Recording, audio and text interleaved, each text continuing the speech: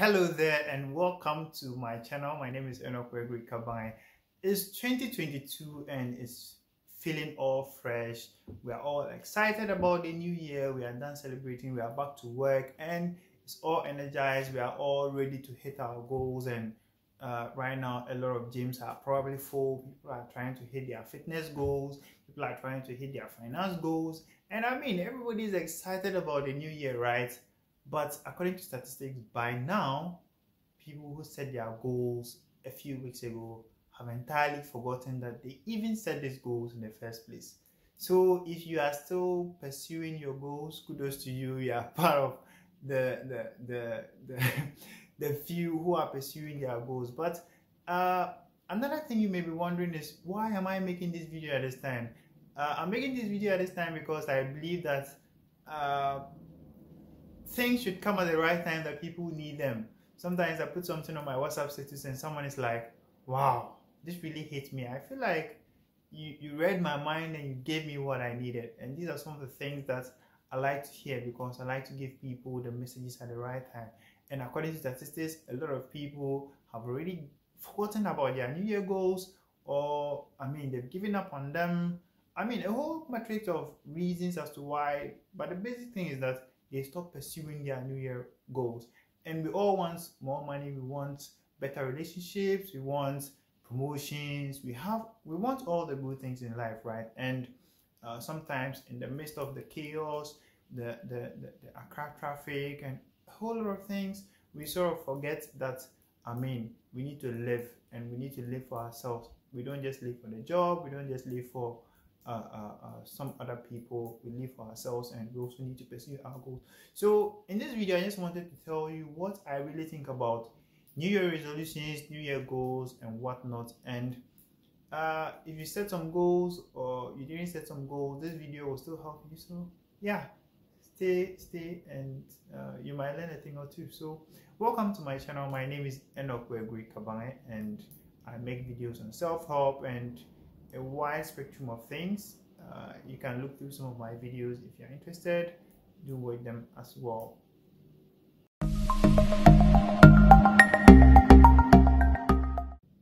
While a lot of people do not set goals, the few people who do, not all of them still pursue them, right?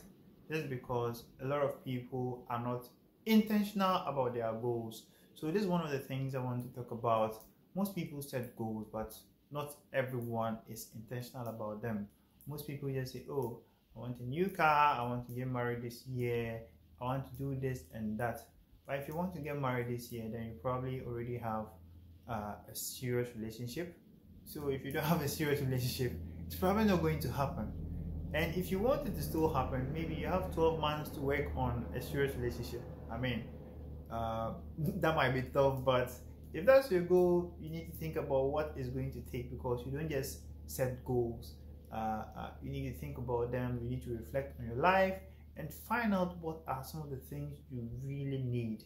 And uh, there are a lot of things that goes into goal setting, but this is the most important thing I think people don't think about.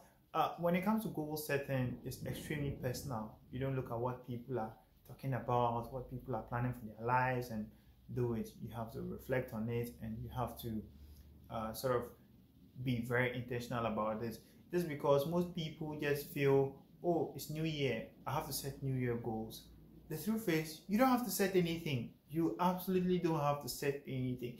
You can sort of wake up the new year and just live your life as it is do nothing be nothing say nothing and just be there. Continue going to your job or doing whatever you keep doing and life would simply go on. Nobody can force you to set New Year goals.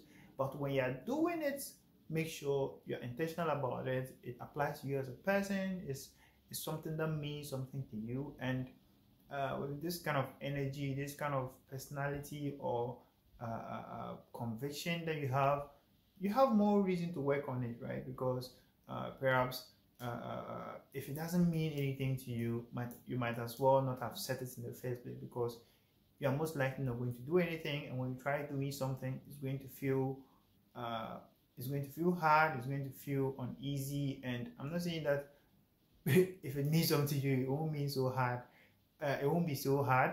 But the truth is, if you are doing something that means something to you, sometimes you are able to bear it better than if it doesn't mean anything to you. You're just doing it for the cloud, you're doing it for social media and things like that. So you need to be intentional about your goal setting. The next thing I want to talk about is that most people uh, do not know how to actually set goals, and this is something that I find worrying because uh, it actually takes out the the the ability to set the goal well and to be accountable to yourself. Uh, there's a simple framework you can use to set goals. is called the SMART uh, technique. The SMART framework is an abbreviation that stands for specific, measurable, achievable, realistic, and time bound. Now I'm going to take them one by one so that you can understand how to go about setting your goals. Now, when it comes to specific, a lot of us don't really set specific goals, uh, and this because we don't really understand the psychology behind goal setting. Uh, if you set a goal uh, and you give yourself 10 years to achieve it, you might as well take 10 years. But if you set a goal and you give yourself one year, six months, or I mean, give yourself a, a very realistic timeline, then you are more likely to achieve it. So when it comes to specificity, you need to be specific about what exactly the goal entails and uh, how you are going to measure it. So when it comes to specificity, you might say, okay, I want to lose a specific amount of weight in this year or maybe the first six months of the year. This is something that you can measure. This is something that's very specific. So the first one is S, which is specific. It has to be very specific. I'm going to lose weight. If it has to do with money, I'm going to make this amount of money. This is how you plan to make that amount of money. And this is even your plan B. So yeah, specific. In case something goes wrong, there's a plan B that you can go through. And the, the second one is measurable. It has to be measurable. If it's not specific, you cannot measure it because uh, you want to lose weight if by the end of the year you've lost just 1 kg, you still lost weight, right? But that may not improve your health in any particular way because it's just 1 kg and that's over a full year. So this, this is something you have to think about how you're going to measure your goal. And uh, if you are to be able to measure your goal, you need to make it very specific because if it's not specific, you face challenges measuring it. The third one is that it has to be achievable sometimes we set goals that are really, really, really out of uh, our reach. I'm not saying that you shouldn't dream big. I'm not saying that you should limit what you want to do. You should stand your vision and not do what matters to you. But if the vision is so big, you might as well break it into pieces. Then you say, okay, today I'm starting a business, but my goal is just to make 5,000 within the next two months. By the next two months, you can say, okay, in my business, this is what I've actually made. Is up to 5,000? You assess it and you move on.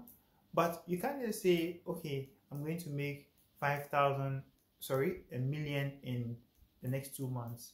It doesn't work that way because probably the business is new, you don't have an existing clientele, you now have to go and look for clients, and it's a whole stressful process. I'm not saying it's not possible to make a million in two, two, two months, but I'm saying that sometimes as a person or personality, you know that your knowledge, the skills, your experience will not allow you to make this amount.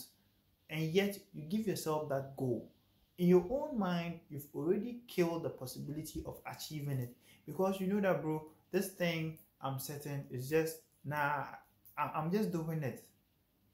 Yes, on the surface level, you may actually feel pumped up about it, but on the subconscious, you know that it's not possible. You've never made a million and now you want to just make a million in two months it doesn't work that way yeah you may find some magic something that will help you to do it but it doesn't work for a lot of people. And if you want to set goals they have to be achievable and they have to be uh, uh, realistic which is the next the next uh, uh point. The goal has to be realistic. It has to relate with some of your past experience. Probably you, you, you've, been doing what you do for some time and you know that every year this is the amount of money you make. So probably you want to prop it up by 20 percent. So you, you prop it up and you say okay this year i'm going to go way above to 20, more than 20% and that's that's a reasonable goal right? So these are some of the things you need to go through if you want to set goal. And the last one it, it has to be time bound. Most people if they are setting new year goal they set it for the year. So you already have your time. But sometimes if the goal is for a year and it's so big you can break it up into months or quarterly. So in general, this is the amount I'm going to make. Even though I'm pursuing a million by the end of the year, I'm going to make uh, uh, uh, maybe a hundred thousand this this month, first January. Uh, sorry, by the end of January. Then you sort of break everything down. So that it's not like you wake up December. Did I make the million? No. But if you break it down and you say January, you have to achieve this. Once you start hitting the goals each and every month, you know that eventually you would achieve your yearly goal. So these are some of the things you can do to improve your goal setting and this is what i really think about goal setting the the truth of the matter is that you don't have to set goals but when you're setting them they have to apply to you as a person.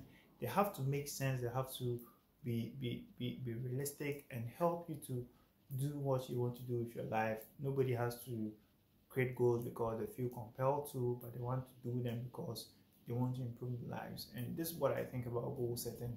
And it doesn't really matter whether you are setting the goals at the beginning of the year, the middle of the year, you are setting them up today.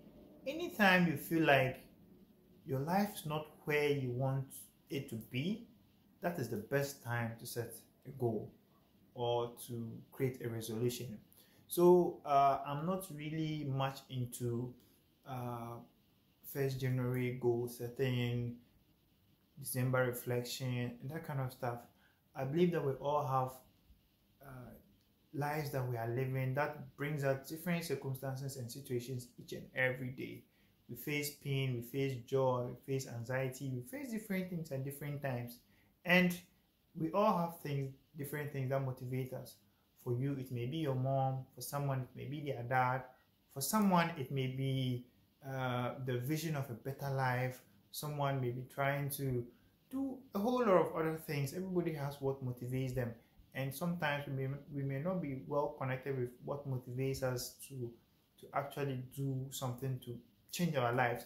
So if you are not at this level and you set a goal, you may as well not do much about it. And it's normal if you're not doing anything about your goal because you probably don't have a good compelling reason. For those who have a good compelling reason, something they remind themselves daily about, if your immediate surroundings are so negative that you want to do everything within your power to leave those environments, you would hustle. You would do what you need to do to live there. And it's something that may sound uh, uh, harsh, but I believe that sometimes the circumstances that push us to pursue our goals. It's not just, okay, uh, it's new year, we have to set resolutions, right? So, yeah, I've already shared some of the things I think about uh, New Year resolutions and goal setting, and I'm giving you a simple framework you can use to set your goals. This is something that is used by businesses, both big and small, to set their own goals. So, I mean, if you want to set a goal, use a simple SMART framework, specific, specific, measurable, achievable, realistic, and time bound. And if you use this, it will make it much easier to remember your goals and to measure them and to keep yourself accountable. And these are three important aspects of any goal that anyone sets or any organization sets.